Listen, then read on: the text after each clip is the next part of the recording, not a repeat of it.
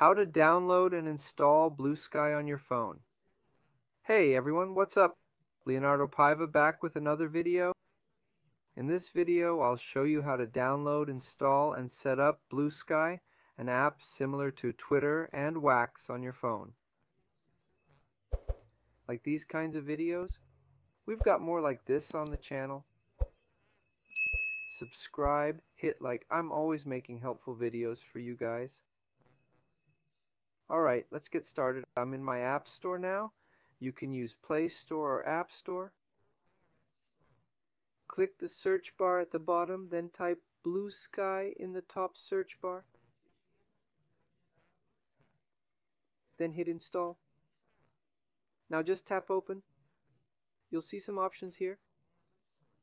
It's in English, so switch to Portuguese by tapping below. Now it's in Portuguese you'll see an option to create a new account.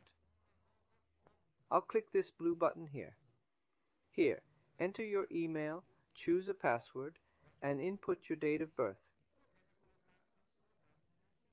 Remember, you need to agree to the terms of service and privacy policy. To read these terms, just click on the blue links.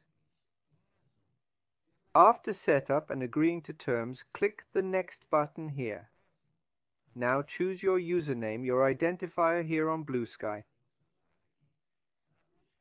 I'll type in my username here, then click Next here. Here, verify you're human. I'll click and complete the check. You can add your photo here. Just click this icon to choose your photo click Allow. After choosing, click here to confirm the photo. Click Continue. Select some things you like here.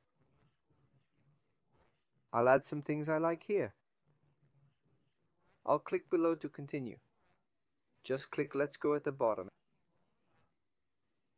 Any questions? Leave them in the comments below. Subscribe for more tutorial videos. That's all for now. Take care and God bless. Thanks.